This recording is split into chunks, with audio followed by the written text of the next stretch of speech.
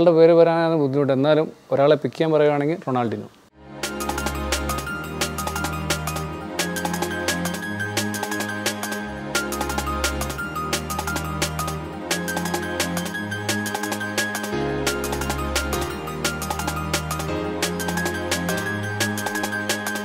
Game ഇത്രയും beautiful ആയിട്ട് കളിക്കുന്ന വേറൊരു പ്ലെയറിനെ ഞാൻ കണ്ടിട്ടില്ല. ഇത്രയും ഇഷ്ടത്തോടു കൂടി ഫുട്ബോളിനെ അപ്രോച്ച് ചെയ്ത വേറൊരു പ്ലെയറിനെ ഞാൻ കണ്ടിട്ടില്ല.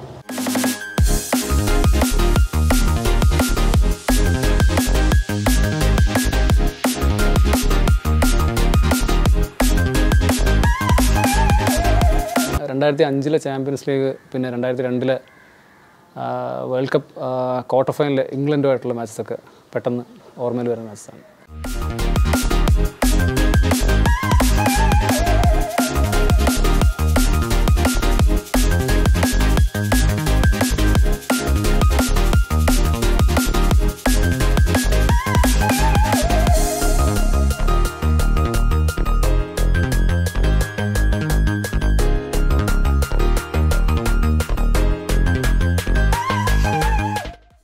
ഇംഗ്ലണ്ടുമായിട്ട് ആ ക്വാർട്ടർ ഫൈനലിൽ വൺ വൺ നിൽക്കുമ്പോഴത്തേക്ക് ആ ഒരു ഡിസൈഡിങ് ഗോൾ ഒരു ഫ്രീ കിക്കിലൂടെ റൊണാൾഡോ നേടുന്നൊരു ഗോളുണ്ട് പിന്നെ ടു തൗസൻഡ് ഫൈവ് ചാമ്പ്യൻസ് ലീഗിൽ ചെൽസിക്കെതിരായിട്ടാണെന്ന് തോന്നുന്നു. ഒരു സ്റ്റാൻഡിങ് ഗോളുണ്ട് ഒരു മൂന്ന് ഡിഫൻസ് ഫ്രണ്ടിൽ നിൽക്കുമ്പോഴത്തേക്ക് നിന്നിട്ട് ബോഡി ആക്ഷൻ ഇട്ടിട്ട് ടോ ചെയ്യുന്നൊരു ഗോളുണ്ട് അതും പിന്നെ ഒരു സോളോ ഗോൾ ചാമ്പ്യൻ ആ അതേ ചാമ്പ്യൻസ് ലീഗിൽ തന്നെ എനിക്കൊന്ന് റയലുമായിട്ടാണെന്ന് തോന്നുന്നു. സെന്ററിൽ നിന്ന് ബോൾ ക്യാരി ചെയ്തിട്ട് നാലഞ്ച് ഡിഫൻസിനെ കട്ട് ചെയ്തിട്ട് സ്കോർ ചെയ്യുന്നത്. അതെനിക്ക് ഒന്ന് സ്റ്റാൻഡിങ് ഓവേഷനൊക്കെ കിട്ടിയായിരുന്നു തോന്നുന്നത് അത് റയലിന്റെ ഫാൻസ് മറഡോണയ്ക്ക് ശേഷം റൊണാൾഡീനൊക്കെയാണെന്ന് തോന്നുന്നു. അങ്ങനെ സ്റ്റാൻഡിങ് ഓവേഷൻ കിട്ടുന്നത് ഒരു ഓപ്പോസിറ്റ് ടീമിന്റെ ഫാൻസിൽ നിന്ന്.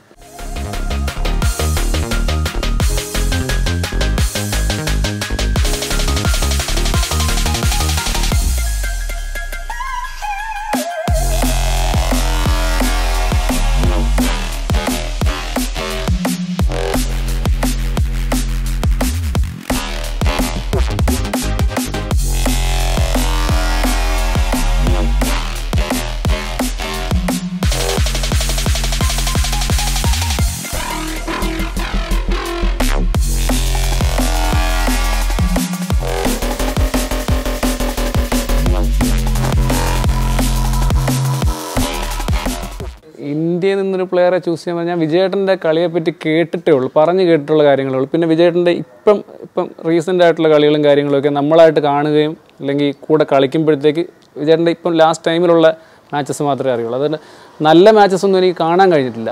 ഞാനൊരു ഇന്ത്യയിൽ നിന്നൊരു പ്ലെയറിനെ പിക്ക് ചെയ്യാൻ പറയുകയാണെങ്കിൽ ഞാൻ ആസിഫ് സഹീറിനെ പറയും. എനിക്ക് പുള്ളിയുടെ കൂടെ ഒരു രണ്ട് കൊല്ലം എസ് ബി ടിയിൽ കളിക്കാനും ചാൻസ് കിട്ടി. ഒരു സന്തോഷ് ട്രോഫി പുള്ളിയോട് കളിക്കാൻ പറ്റി. അതുപോലെ ഒരു സന്തോഷ് ട്രോഫി ക്യാമ്പ് ഞാൻ പുള്ളിയോട് അറ്റൻഡ് ചെയ്യുകയും ചെയ്തു. അപ്പോൾ ഇത്രയും ബാക്കി യങ് പ്ലേയേഴ്സിനെ സപ്പോർട്ട് ചെയ്ത് അല്ലെങ്കിൽ ഇത്രയും ബൂസ്റ്റ് ചെയ്ത് കളിപ്പിക്കുന്ന ഒരു പ്ലെയർ എന്റെ അറിവിലില്ല. ആസിഫ് സൈർ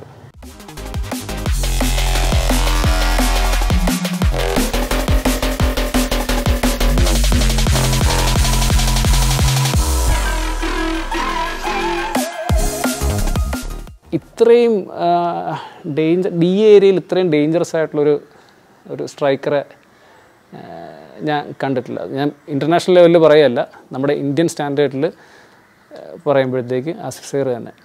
എനിക്ക് ഒരു പ്രചോദനമായിട്ട് തോന്നിയിട്ടുള്ളത്.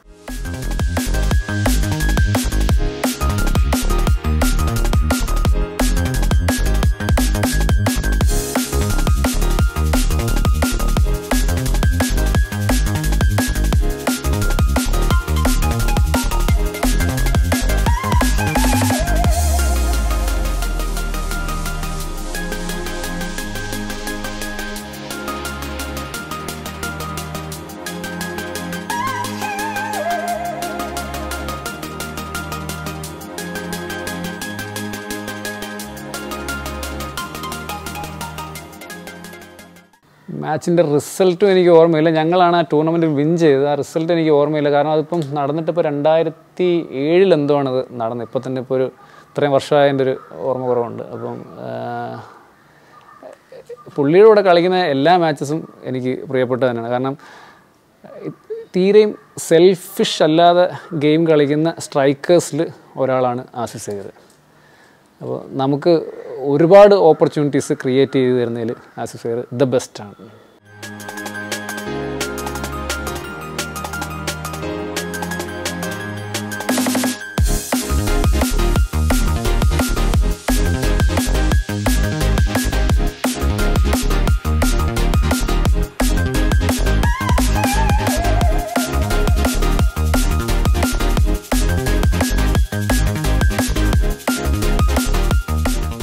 അയ്യോ പുള്ളി അങ്ങനെ ഈ വഴക്ക് പറഞ്ഞ് അല്ലെങ്കിൽ നമ്മളെ ഇങ്ങനെ ഷൗട്ട് ചെയ്തിട്ടുള്ള ഞാൻ ഇതുവരെ എന്റെ ഓർമ്മയിലില്ല. ഒരു മിസ് നമ്മളിൽ നിന്ന് പറ്റിയാൽ തന്നെ പുള്ളി അത് നെക്സ്റ്റ് ഇത് ശരിയാക്കാൻ വേണ്ടി നമ്മളെ ബൂസ്റ്റ് ചെയ്യുക എന്നുള്ളതല്ലാതെ വഴക്ക് പറഞ്ഞൊരു ഓർമ്മയൊന്നും എന്റെ കയ്യിലില്ല.